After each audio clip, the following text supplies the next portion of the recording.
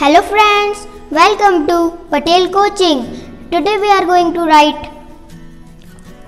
10 line essay on my best friend. So let's start.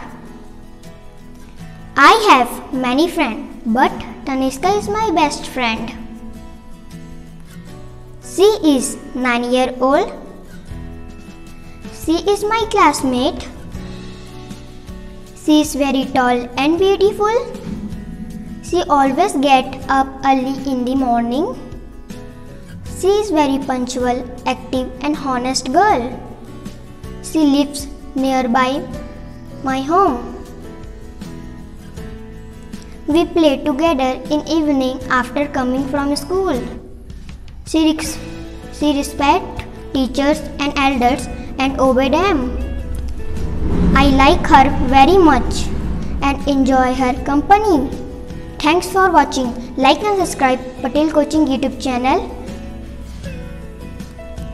Bye.